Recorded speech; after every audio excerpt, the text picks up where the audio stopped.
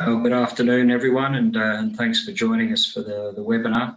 Uh, my name is Derek Paas. I'm a Asia Investment Specialist and also the uh, State Manager for the Northern States and, uh, and WA. Uh, well, there's obviously been a fair bit of volatility around lately, so we thought it'd be a good idea to share our thoughts with you and also uh, answer any questions you may have you'll probably notice on the um, uh, on the screen under the GoToWebinar sign, there's a section there where you can type in questions, and uh, and I encourage you to uh, encourage you to do so. Okay, so over July we saw the fund fall by 15%. Uh, index was down about 12%. Uh, and uh, I'd just like to start off by putting that in a bit of um, historical context uh, for the fund as a whole, the fund's performance as a whole. Uh, so hopefully you can see a chart there of the fund since inception in 2005. And I think, uh, well, obviously there has been volatility, but I think it's important to note that a lot of the volatility we have seen historically in the fund has been due to uh, uh, government regulation, uh, government-induced regulation, and the market's response to that. So if we go back to 2011, uh, even 2018, the leveraging campaign by the government caught the market by surprise. Uh, also in 2015, we had the Chinese government tightening up on uh, margin lending. Uh, 2016, we had the, um, uh, the widening of the trade, trading band for the currency. And then even in 2018, in a more sector-specific, uh, at a more sector-specific level, we had uh, the government introducing regulation in terms of um, uh, access to money uh, in China. Uh, so even though we are fall, uh, it's not it's not without precedent, particularly when it comes to uh, government introducing new regulation and uh, also perhaps um, an, an, inability of the government to adequately communicate uh, the change in regulation with uh, with capital markets. So I think it's just um, it's just important to, uh, keep that in mind. Uh, the long-term track record for the fund is still good, um, so 10% per annum net of all the index 8.7%. Uh, so I'll just um, I'd just like to stress again uh, for those who are joining us, uh, there's a question box there. Please feel free to ask uh, ask as many questions as you like, and we'll do our best to uh, we'll do our best to answer them. Um, I've also, in the interest of time, I've prepared a few questions as well, just from conversations with advisors over the last um, over the last few weeks. Uh, now, at this point, I'd, um, uh, I'd, like to introduce our key speaker, uh, Jonathan Wu. Uh, Jonathan's the Executive Director, uh, as well as the group's Chief Investment Specialist. Jonathan's been a specialist for over 15 years, uh, building, the, building a bridge of understanding between Australian investors and the opportunities on offer in Asia. Jonathan and the team published the first Asian investment-centric book for investors back in 2011, uh, and we've distributed about 20,000 copies of that. Uh, Jonathan holds a range of uh, qualifications, including a Bachelor's of Commerce and a Global Executive MBA from the University of Sydney. Uh, he's a CPA with specialist certifications in financial planning and self-managed super funds and he's a FCHFP with the AFA. Jonathan understands uh, and has lived through multiple economic cycles across Asia uh, and will be able to provide a unique depth of understanding uh, to everyone on this call this afternoon. Uh, so with that, uh, I'd like to put the first question to, uh, to Jonathan. Jonathan, can you provide us more detail regarding the recent sell-off in Chinese equities? Sure. Thanks, Derek. Um, so good afternoon, everybody, and, and thanks for joining a call on uh, on uh, Friday afternoon. Uh, for those who are in Sydney like ourselves, um, I hope you're surviving okay through lockdown. So to give everyone uh, initial um, context around what we've you know recently seen in terms of market volatility, um, the key thing is that I want to help set some context um, today. Um, and Derek, probably mute yourself uh, now because I think there's a little bit of feedback coming through. Um, so what I want to do is set some context to start things off. And the context by which I want to explain everything um, to everyone today through a lens of social harmony. Um, so we all have known for a number of years now that China's main target is not to uh, target the quantity of growth, but it is pretty much to look at the quality of growth um, longer term in order to achieve that social harmony. Now, the latest round of sell-offs uh, were linked to the changes announced by the government, in at least in draft form, around the after-school tutoring sector. Now, what we need to remember is that the changes that have been announced is focused around the K to 9 curriculum. So then the question is, what's the big deal? Is a material impact to Chinese GDP that the Chinese government has to actively target it and try to regulate and control the sector? Um, no, not from a GDP perspective, from a cultural perspective.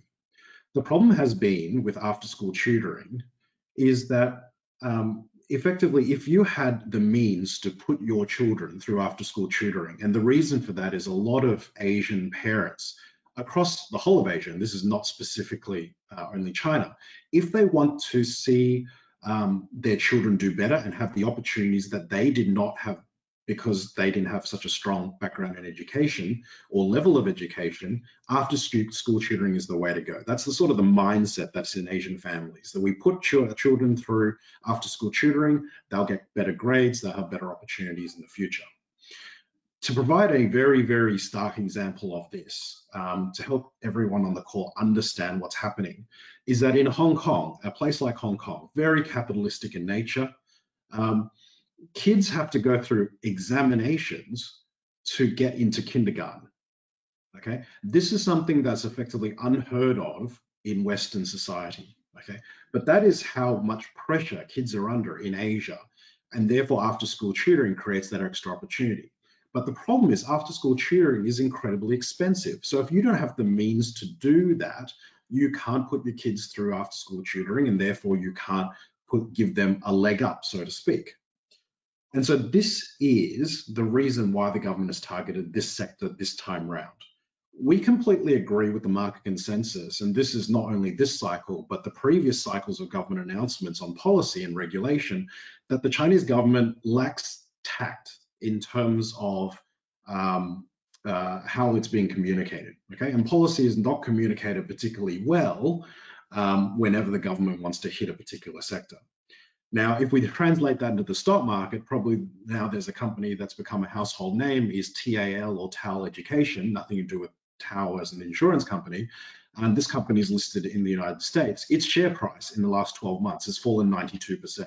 Okay, and obviously most of that is on the back of what's happened in the last uh, two to three weeks. Now, to be clear, um, none of our portfolios hold uh, any exposure whatsoever historically or now in the after school tutoring sector, and we have less than 1% exposure in tertiary education, of which tertiary education, meaning university, TAFE and above, is not subject to the current set of regulations. Um, and that's very, very different to after school tutoring uh, in, this, in, this, in this particular context. What's also happened um, that has sort of exacerbated the level of selling in the market uh, is the margin lending deleveraging uh, is a flow and effect of the market falling. But what has been different this time round compared to previous, uh, I guess, cycles is that the panic selling from our capital flow data has been showing it's more global or offshore investors, meaning investors like in Australia or in Canada, or US or in Europe, are the ones that are selling out of these stocks and not the domestic players or the other Asian investors. Um, and I think this is purely a, a context of understanding the market overall. Um, so that's what's been happening recently. Okay, thanks, uh, thanks, Jonathan. So that's the uh, the after school uh, sector. Uh, could you also share your thoughts on uh, on other areas of increased regulation as well? Yeah. So if we consider the other sectors um, that have been, you know, the subject of um, target targeting by, by, by government regulatory bodies um, in the last couple of, of months and I guess the last quarter, um, it is again uh, circulating around the concept of social harmony. So social harmony defined by the Chinese government, and this was sort of reiterated or reinforced at the recent 100 year centenary of the Chinese Communist Party celebrations, that quality of people. So really continuing down the path of effective social uh, socialism compared to uh, capitalism, which has been sort of the cornerstone policy framework of government since the opening um, around uh, 40 years ago.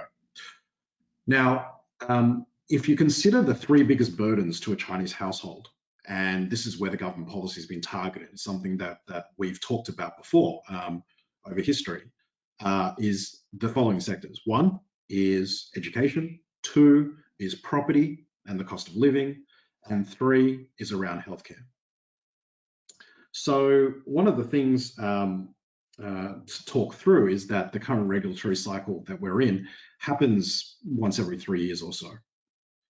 Um, and what happens uh, uh, sort of once every three years, uh, and the most recent one to bring to, to bring to focus to everyone was back in 2017, uh, we saw the internet gaming sector get hit. And predominantly this was targeted around Tencent. So we had children being addicted to games on mobile phones, tablets, and computers, um, and a number of them died, and a number of them actually also committed suicide. So this becomes a social problem in China, uh, and the government attacked the sector.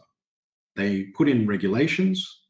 And so what was Tencent's response? Tencent's response was they put in new compliance measures. They put in things like age verification, uh, gaming limits for children, and the sector has continued to thrive. And that is why Tencent has uh, been a top holding of the Prem China as well as Prem Asia funds for a significant period of time. Um, if we also then go back a bit further into history and look at something like, say, in 2013, uh, we saw when President Xi first came to power, he had a very, very aggressive anti-corruption campaign. Now that anti-corruption campaign uh, ended up locking up 20,000 officials uh, for bribery and corruption and so on and so forth. And indirectly, one of the biggest sectors that was hit was Chinese white liquor. Now I'm referring to Chinese vodka here, not referring to uh, Chardonnay. So this is the very high-end liquor that a lot of officials were using to bribe people and a lot of business people were using to bribe um, uh, corrupt officials. And one of the offsets of that is if you remove that as a market, um, these companies have suffered immediately a 30 to 40% drop in their overall, over, overall revenue. Now, the reality is they adapted, they changed their business model. So think about Johnnie Walker uh, only offering one label they then moved to offering six or seven different labels targeting different price points. Uh, and these different price points obviously then allowed um, the, the sector to flourish again. And in actual fact, Moutai is also a top 10 holding of the fund. So these are two simple examples of regulatory cycles we've seen in the past. Remember that it doesn't destroy a sector. The government is not trying to destroy sectors. They're trying to regulate sectors uh, in order to achieve social harmony okay? And if they don't deal with the issues around property, if they don't deal with issues around healthcare and the aging population and demographics, um, as well as education, they're not going to be able to uh, deal with their longer term issues. And but this, you know, the aging demographic problem is is one thing that's that's quite global in nature. So if we look at that, if we consider again the education part of it, because after school tutoring cost, is costing so much, the Chinese government realized that people aren't going to have as many children. If you don't have as many children, then the aging population problem and the funding of the pension system is only going to get worse, which is what we're seeing in most Western democracies. Then if we also look at uh, the other part of the IT sector, it's around data protection and privacy. And most recently, Didi, or the Chinese equivalent of Uber, has been the one that has been subject of, uh, uh of a lot of regulation. Again, this is not dissimilar at all to the Europeans' uh, GDR, GDPR or the General Data Protection Regulation that came in about five years ago, which leads to us nowadays going onto websites and being forced to click accept all cookies. Um, and these things will continue to happen. Um, then there's the gig economy. Uh, we would have seen in Australia that there's been some landmark cases around Uber drivers and Uber Eats drivers taking the company to task to the courts and saying, we need more benefits, we need to be paid more. Same thing's happening in China, but the government's taking the front foot in trying to regulate these companies to increase the wages of these people in the gig economy so that they can actually achieve a living wage and again reduce the pressures of those three sectors that I just talked about. And then overall in the tech sector, which is different to China Internet, is this whole issue around anti-monopolistic behavior. So anti-monopolistic behavior is primarily targeting exclusive distribution agreements that Alibaba has had in place uh, for a number of years. So if you're a Nike or an Adidas and you're trying to sell your product into China, you might list your product on Tmall. So Tmall is the upper end branding um, uh, sort of e-commerce site for Alibaba. And your distribution agreement said you can't actually sell anywhere else. So the Chinese government has hit back on that um, and basically is trying to put in antitrust laws to increase innovation and increase uh, competition. We have no exposure in Alibaba and we actually sold out of exposure late last year, and it's something we're going to come back to uh, uh, later on.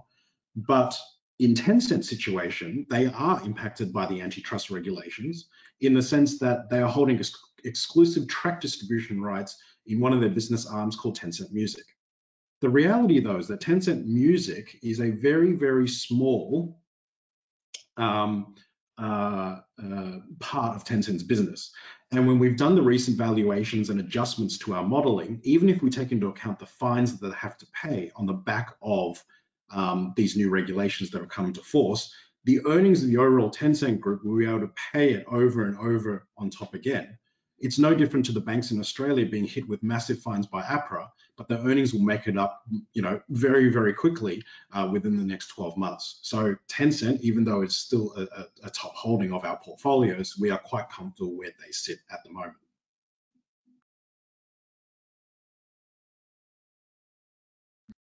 Okay, thanks, uh, thanks, Jonathan. And um, so obviously some uh, some headwinds to negotiate. Do you see any tailwinds? Yeah. So with any regulation um, that we've seen in past cycles, we certainly feel that there's tailwinds that are um, very, you know, uh, impacting some particular sectors.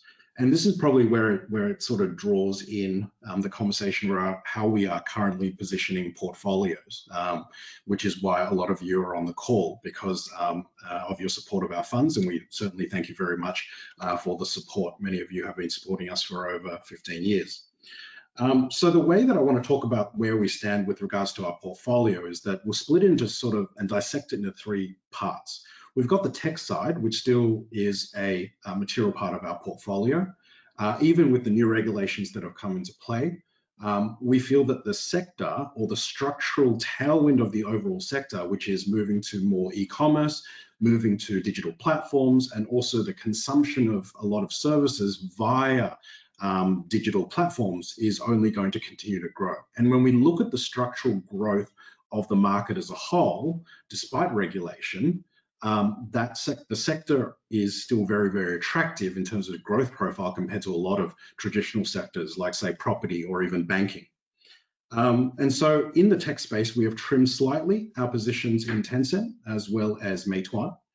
Um, and then we have uh, and this is something that we did probably earlier in the year rather than now, is that we actually substituted Alibaba because we exited our Alibaba position and went into Pinduoduo.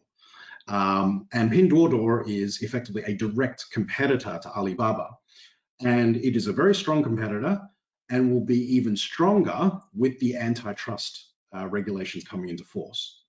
Um, and it's only going to benefit them going forward because there's going to be so many more um, people and vendors that will be able to sell their goods in China, increase their market penetration by um, effectively not having to choose one distribution path uh, uh, going forward. Then the second part, um, sorry, there's one more comment I want to make on the on the China internet sector.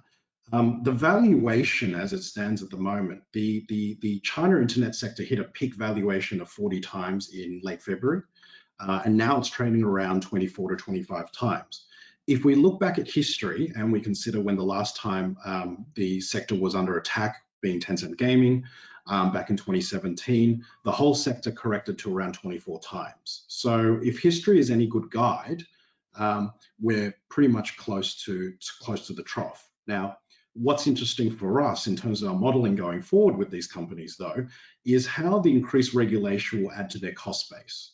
We are no longer focusing so much on top line revenue growth because structurally we know that, that they're there. Okay, and even though Tencent through its subsidiary WeChat has suspended new new new um, uh, account openings um, in recent weeks, uh, pending new regulations that are about to come through. Um, none of this changes the overall structural growth story that I was talking about. Um, so the sector overall still remains uh, attractive to us long term, and we're finding different um, points in time for us to enter.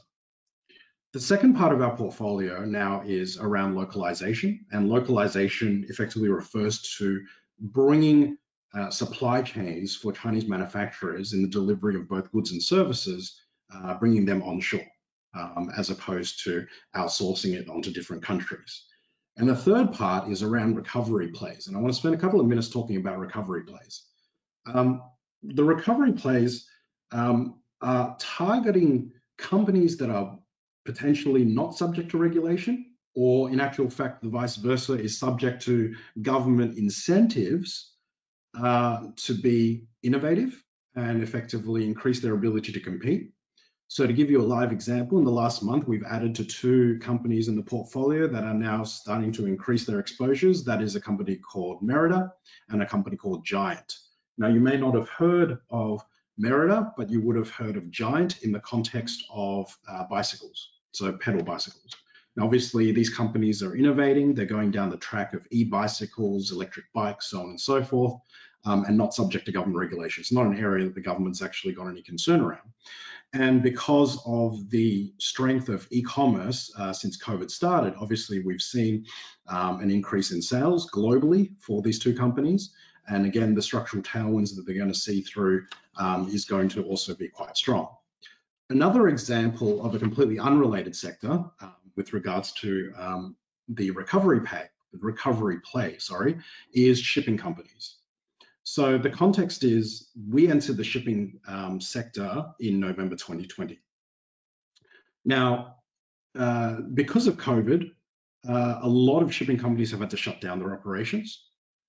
Uh, and we all know China was first in, first out of the crisis. Even though there are certain parts, back to Wuhan, southern China and Guangdong, that are currently under lockdowns and, and now doing rapid testing for its population to basically stamp out. Um, very similar strategy to Australia, a suppression to zero strategy on Delta variant. Um, is that China's shipping companies have been being able to reoperate and reopen uh, for a very extended period of time now. Um, and if we look at the costs of shipping a container uh, in pre-COVID times from the port of Shanghai to the port of LA, it will cost around 2,000 US dollars. Uh, earlier this year, it cost 10,000 US dollars. So five times what it costs in pre-COVID times. So the question is, why is that? Well, again, it's supply and demand.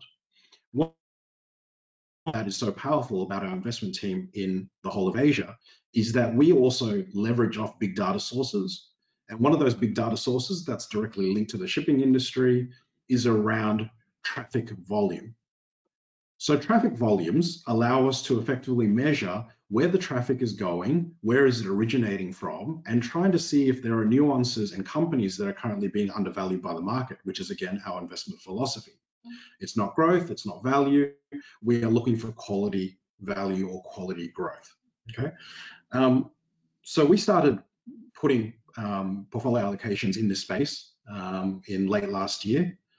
Uh, and what's been, what we found was very interesting, going back to our, our, our uh, the power of our research, is that there was effectively no sell side research for shipping companies in China. Uh, and what was then more interesting is that in February and March, three months after we started allocating to the sector, there were about three to four sell side analysts that were starting to pick up the theme because they also realized that there's an anomaly in the market whereby shipping costs have gone through the roof. So we've made very, very good money on the shipping sector, um, which is reflected in our portfolio returns year to date. What we're currently looking for is the exit point. Um, the exit point for us has always been critical. We don't want to overpay for things. We want to find the right timing if we think that there's tailwinds that will particularly come up or the stock has run ahead of its own pace. Um, usually, we probably should get up around now. Uh, and the rationale for that is the global peak traffic for shipping is around August each year. And August, um, uh, is the key uh, month because effectively most Western countries are trying to get their shipments in by Christmas and the holiday season. Uh, but right now, we still see an, anomal an, anomaly in terms of the pricing, given it's 10,000 US dollars uh, per container. But it's something that we're looking very closely at and trying to find an exit. So that's the, probably a very interesting way of looking at looking at our portfolio through those three lenses. One's the recovery play, one is the localization, uh, and one is talking about the um, uh, talking about the, the the sort of tech sectors which are probably under a little bit of pressure. Now, I, now obviously that leads to a question around has um, has the um, impact of the market overall impacted our returns? Um, now, what you see on the screen right now is the performance of the Premium Asia Fund um, since its history back in 2009. And this is a, a, a, table and a chart that we keep updating because we get a lot of this exact same question around how have we performed in through our long-term history against Platinum, who is effectively the incumbent. Um, and what you can see here is that we've sort of broken it down on a calendar year basis. Um, we are effectively offering uh, advisors and investors on the call a very attractive entry point um, into this space with a manager that historically uh, actually a more expensive product um, because we had our fees set at 178 basis points plus a performance fee prior to July 2019, and now it's actually reduced all the way down to 133 basis point with no performance fee, and you can see our performance against the incumbent uh, year on year. And this being a recovery year um, and also a very volatile year of even, you know, that sort of growth uh, switching into value based on the inflation fears we saw in sort of February, um, our fund has still performed uh, ending July, um, 700 odd basis points net of fees, um, which we're very, very proud of in terms of our overall ability to keep performing. Um, then on top of that, um, what we've been able to do over time is that we've been able to sort of show our worth um, and our capability by sort of measuring how much risk do we fundamentally take on to achieve the performance that you're seeing up on the screen. Um, now, obviously, the Sharpe ratios and information ratios are effectively measuring one versus our peers and one versus a, a risk, sorry, a, a benchmark. Um, effectively looking at are we taking on excessive risk to achieve excessive performance uh, over risk-free rate and then over the um, over the uh, the benchmark. And what's very pleasing to see is that obviously the higher the number, the better. You can see our performance over all time periods is that we beat our peer median. Uh, and then on top of that, with, with regards to the information ratio piece, you can see that it is very difficult to invest in Asia well. Um, and that's exacerbated by the fact that you can see on the five and seven year basis, the average manager available in Australia that invests in Asia um, actually underperformed the benchmark um, which is how you interpret a negative peer median figure uh, for the information ratio. So it's very, very critical that when you're looking at Asia, you need to find someone specialized uh, in this space. Okay, thanks, uh, thanks, Jonathan. And uh, just, a reminder, everyone who's listening in, if you do have any questions, please, uh, please feel free to type them, uh, type them in uh, Jonathan, you mentioned the, uh, localization process going on in China at the moment. Could you um, could you expand on that a bit more, please? So the localization um, theme, which is the second out of the three um, sort of themes that are sort of uh, culminating or floating through our portfolio.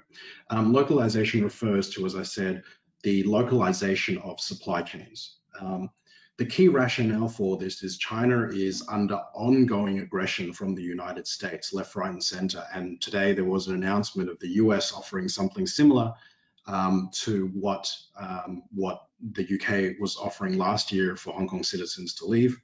Um, you know, a lot of these, you know, we're not commenting on because it's really irrelevant to our investment process.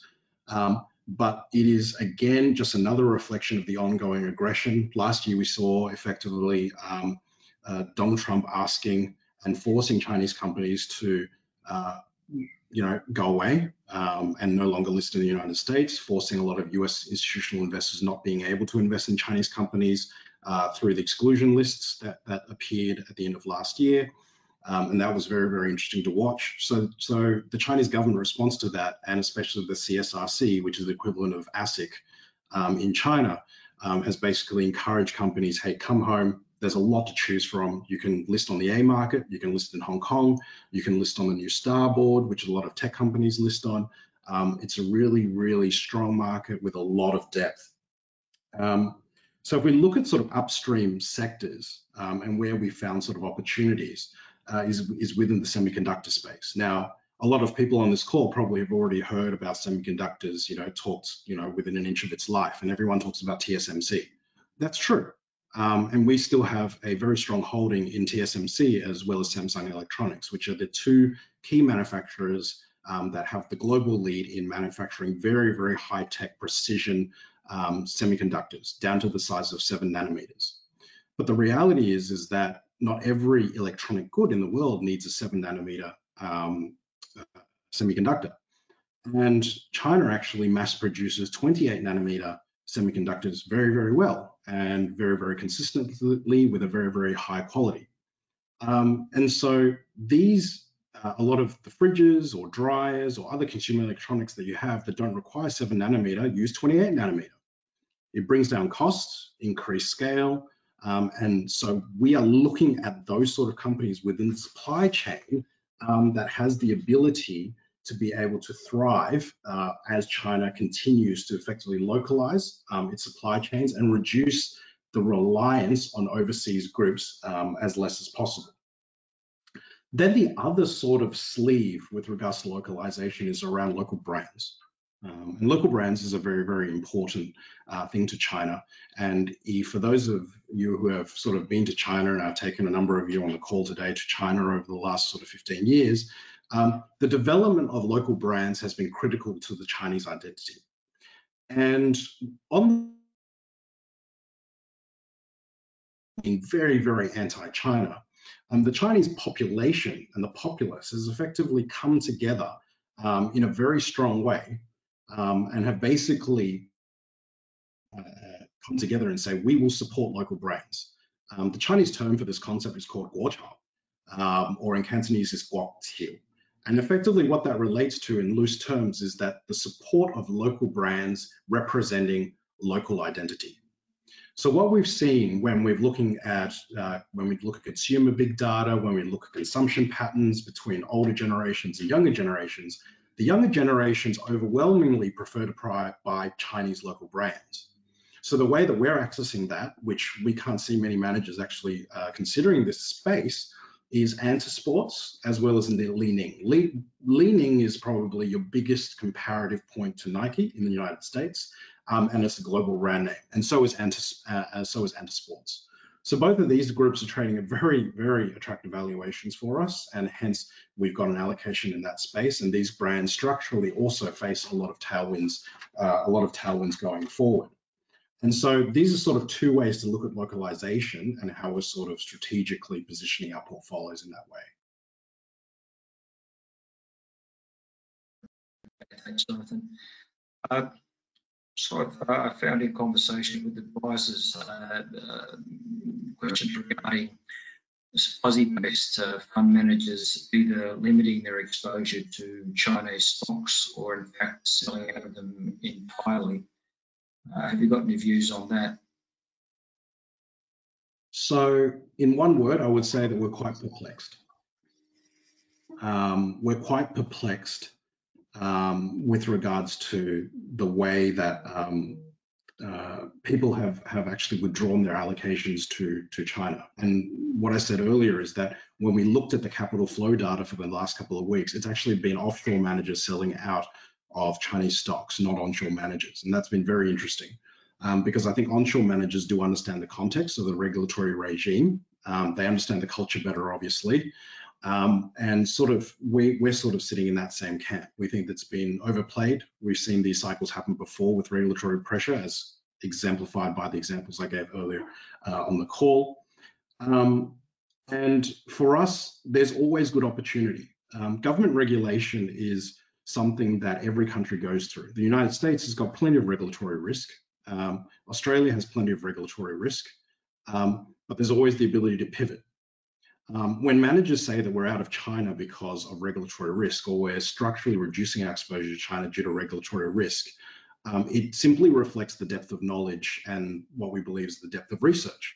Um, and we don't criticize those managers directly, but you can't be good at everywhere.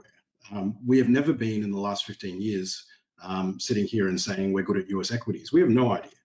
Um, we have no idea about European equities or Australian equities. We specialize in what we specialize in, which is Asian equities.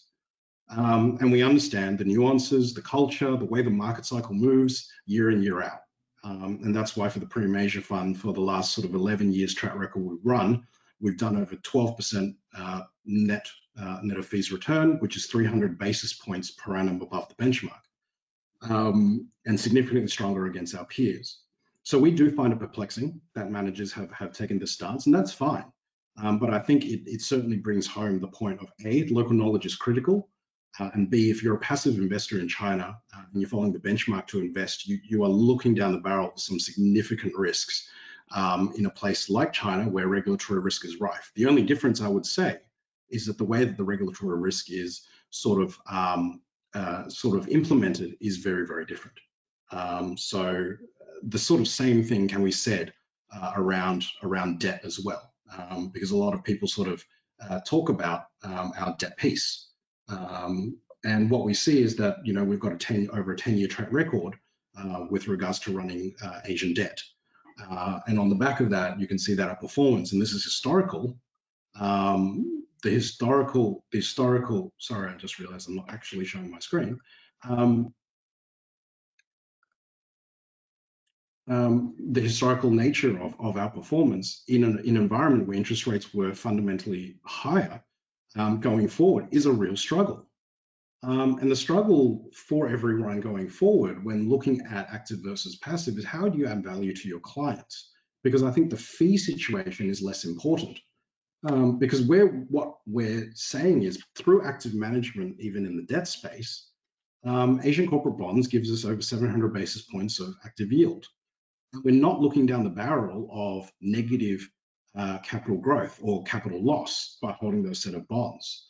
So for those people on the call um, uh, uh, that understand the fundamental problem with investing in bonds or any part of the fixed interest market at the moment is the risk of capital loss. So if you're holding on to Australian or international government bonds on an index basis, um, you are basically telling your clients that I, I will guarantee your capital loss going forward, and it's something that you'll have to wear. And that's something that we're very, very mindful of um, uh, uh, very, very mindful of with regards to the way that we're sort of structuring portfolios um, going forward, both on the equity as well as the debt side. And by the way, we will circulate these couple of slides um, for everyone after the call as well.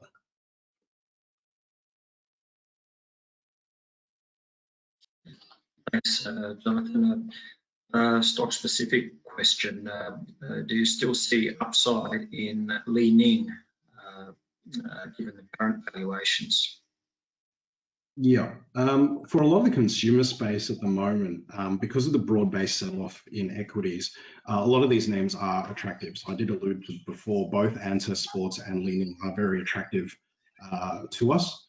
Um, again, structural tailwinds uh, powering the middle class and the government effectively ensuring um, that the middle class growth uh, continues to be there on the back of ensuring affordable education, affordable healthcare, and affordable property and living space. Um, so both Li-Ning and Anta are on very attractive bases for us at the moment, especially given global managers have exited some of those positions as well. Thank you. Uh, another question, uh, what percentage of the premium China fund is invested via offshore markets and are not China A shares? So uh, the majority of our exposure has historically been on offshore markets. So if, if you're defining offshore as non-A shares, which includes Hong Kong, obviously Taiwan, um, even the B market, um, we currently hold around 15% or so in A shares, and the rest of it is all non-A shares. If that answers your question.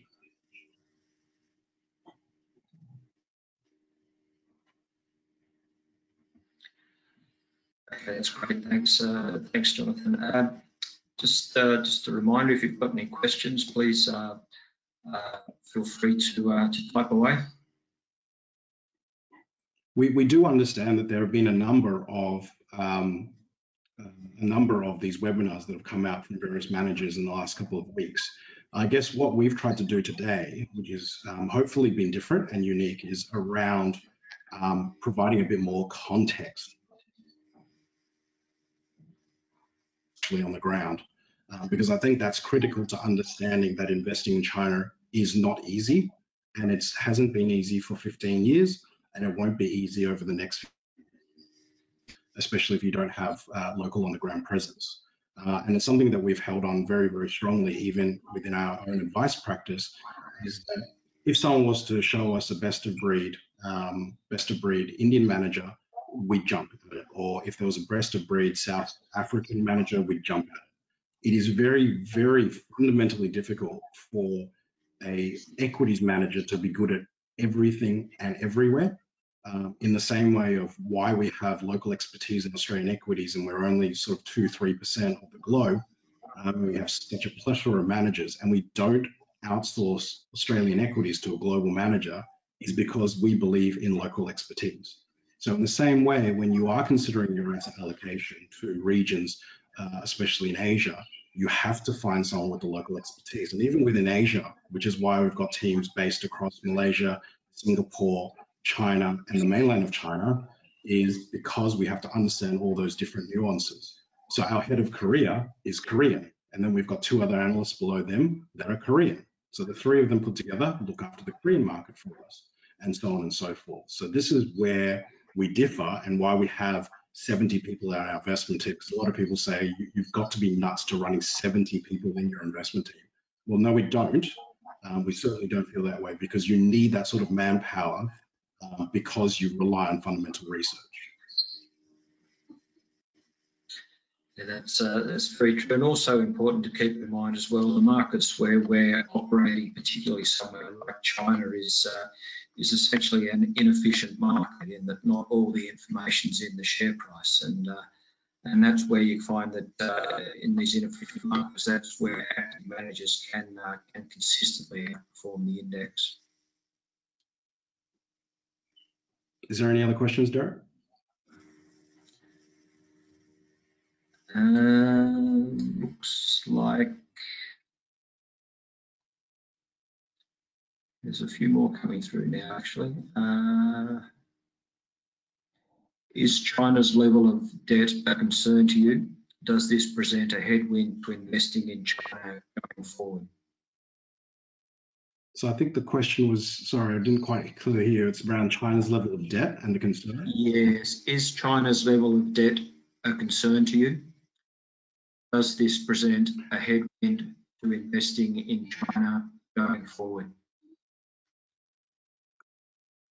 So I think debt's a very interesting um, topic.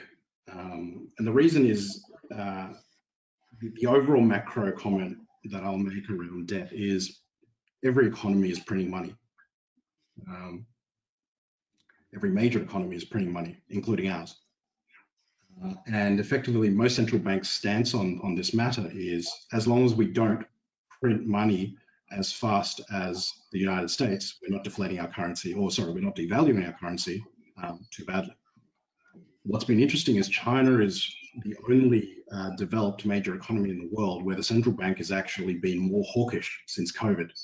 Um, and that's been very, very interesting and also reflected in um, the government bond interest rate. So if you buy a 10-year government bond in China, China at the moment, you're getting paid about 3%.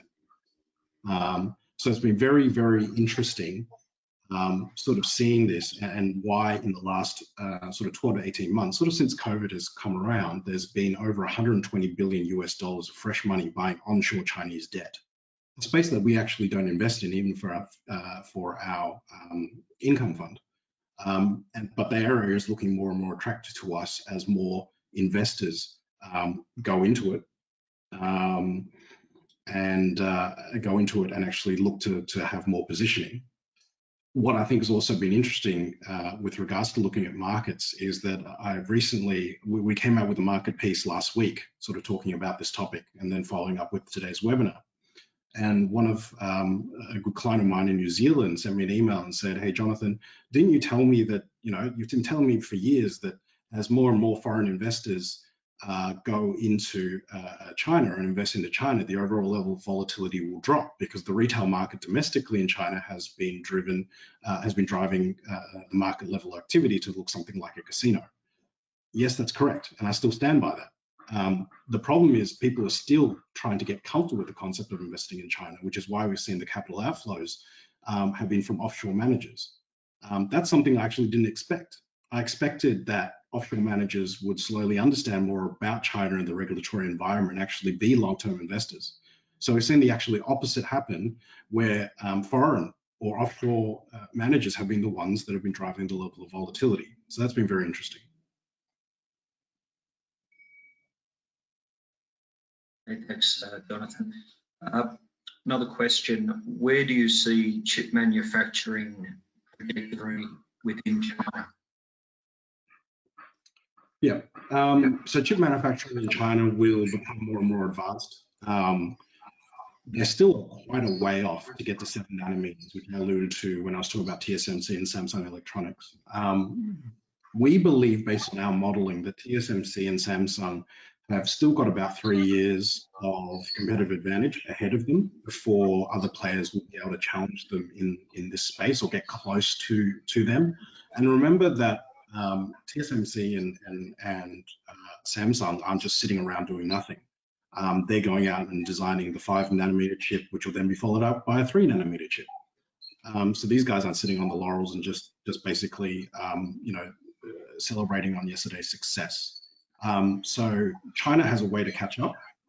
But again, I allude to the fact that the market is not only about seven, seven, five, or even three nanometer chips. It's about um, you know broad-based application. Um, and China, given the fact that it's slowly, well, it already really has moved up the value chain overall, what we've been able to see and come out of the back of that is that China has been able to replace the labor-intensive manufacturing with high-end, high-margin um, manufacturing technologies, and that's been very, very good to see. Um, but you know, they're not necessarily going to challenge uh, those two incumbents just yet. Okay. Uh, there's a um, uh, question from Richard. Uh, do you see more headwinds and regulatory changes that will affect Chinese companies listed and or seeking listing on offshore markets, especially US capital markets? The short answer is yes. Um, the US is not letting up uh, on its pressure. Um, since Donald Trump, well, there were some people that were saying that uh, with a Biden administration, we'd see a, um, a watering down of its aggression against China. Yes, that is true to the extent of the, the type of rhetoric that comes out. We don't have a, we're not, we're not um, looking at markets based on someone's Twitter feed. Um, but probably the one way to exemplify that the US is still structurally in a position where they need to continue to be aggressive towards China um, is around the fact that one of the last pieces of legislation uh, the previous president or President Trump uh, implemented was the exclusion list, which started off with a list of companies that US um, corporates uh, and, and investors can't invest in. That has been updated twice by the Biden administration. Now that hasn't been updated with reducing the number of companies, um, but that has been actually updated with um, increasing the number of companies on that list. So yes, the capital markets and the future of Chinese companies continuing to have and have a very welcome approach in listing in China. Um, that window is, is is closing, which is why the CSRC has been very, very um, much on the front foot in saying to companies, hey, there's a lot of opportunity in, in actually listing in China um, it's closer to home, um, and you're going to get less regulatory pressure. Thanks, uh, Jonathan. Uh, topical uh, question from Alistair. Uh, there's a lot of politics going on in Australia, and uh, surely there's uh, more influence on being on the inside rather than exiting. What is the reality with the business community versus the politicians? Al, I had a feeling you were going to ask me a question like this.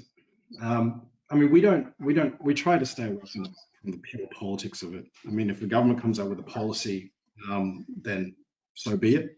Uh, doesn't really impact our actual ability to invest, and I, I, reiterate that again. Um, the reality is, is that the business community if we look at the Australian context of it, whether you're a coal explorer or a wine grower, a, a, a wine, you know, smaller maker, uh, feeling it, and you're feeling it really, really tough at the moment. Um, and we certainly understand that context. Um, China overall, its middle class continues to grow. Um, it's a market that I think everyone wants to get into, regardless of the political environment. Um, and it's really a matter for the politicians to work out what is the best way to create a cooperative working environment with China, whether or not um, you, you know, fundamentally agree from a cultural perspective. Um, I, I, can't I, I, can't remember exactly now who said the following, uh, but a very very smart uh, gentleman said this before. Um, is that you don't fundamentally have to agree on cultural norms and what is acceptable cultural or societal practice um, in order to have a fruitful trading relationship. And the best way to exemplify that is the trading relationship that China has with Japan. I mean, you think about the number of gripes that China has with Japan historically, right? The World War II ramifications. They have a great trading relationship. They have a terrible political relationship, though right? They're arguing about Diaoyu Islands and all those sort of things. But they fundamentally know how to separate those two issues. Um, and if you can separate those two issues, you'll have a thriving relationship. Uh, and you know, this is a personal thing, not so much our fund managers. I think that if politicians can look at things from that context, I think it will be more fruitful. Uh, unfortunately, what I would say is uh, China through its policy implementation in the last couple of years, we've certainly seen that the reality for, for them has been um, the ability for them to domesticify, if I, I think I made that, that word, um, their supply chains, the better it is for them going forward. Um, and it means that the overall Chinese economy wouldn't be held to ransom um, by anybody else. And, and I guess the other point to raise here is one of the great things about China, whether or not you agree with their style of government, which is authoritarian and now moving to implemented socialism, um, is they can always take the best parts of Western democracy and implement it in their economy. And never let the cultural impact, um, uh, the cultural nuances that you may disagree with impact your trading relationships because both can still greatly benefit in an environment um, where we're sort of unfortunately going back in terms of globalization. Um, and you know what? That could well be the final trigger of where we see inflation because it's not coming anywhere else in any real means that a central bank is willing to accept. Um, but it might come in the form of deglobalization.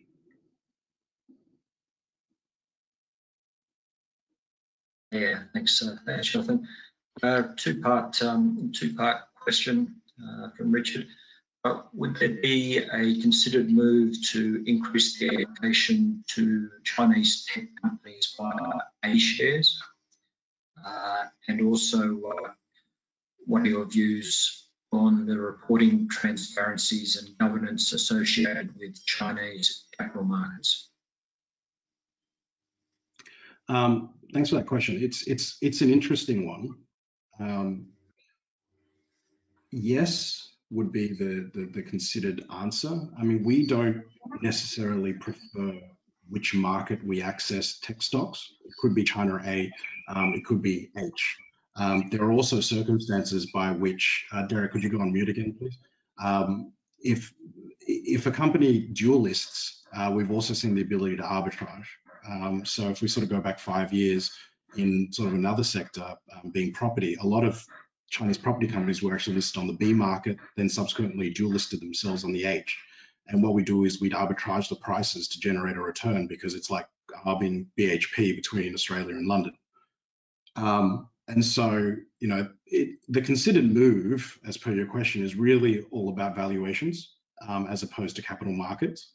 Uh, one thing that has come into contention recently um, that will be interesting to see how it plays out is this concept of uh, variable interest entities in China. Um, so there's this sort of structure called VIEs where a lot of Chinese tech companies have decided to list or create variable interest entities, which effectively, um, in short, uh, shift the control uh, away from shareholders um, and reduce the risks of reporting and disclosures and whatnot. Um, and that was one path some of these after school tutoring companies were going uh, through. Um, and so a question came up recently to us from one of our institutional clients, um, whether or not VIEs have any future, um, because that was a considered way of people, of, of companies listing um, in a lower risk to the company per se. Um, the CSRC, or the equivalent of ASIC in China, did come out um, post this latest round of corrections and did say that VIEs is still a viable way of companies to list if it's appropriate for their industry or their structure. So they haven't provided, um, they haven't said no for sure. Um, and we still think it is a viable way, but we certainly see that there is some regulatory risk in that space. And if tech companies are using a VIE structure to list, yes, we are doubly careful um, as to whether or not we are interested in in in in, um, in, investing in those companies because there are some disclosure anomalies is probably the way to put it. Um, and if we're concerned about that, then obviously there's some transparency issues that we would try to tend to avoid. Again, only active managers can do this.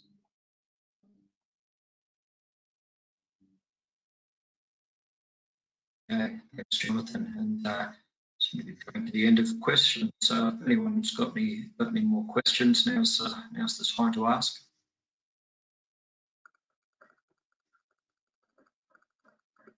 So just to also reinforce all the strategies we have in the market, the China Fund, the Asia, as well as Asia Income is all well covered by research houses. So um, feel free to reach out or go on our website um, to have a look at the, the research houses that have back your recommendations.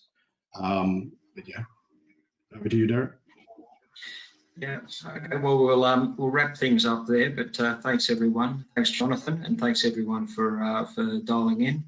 And uh, if you do have any follow-up questions, please feel free to get in touch with uh, either myself or, uh, or Jonathan. And uh, stay safe and have a good weekend. Thank you.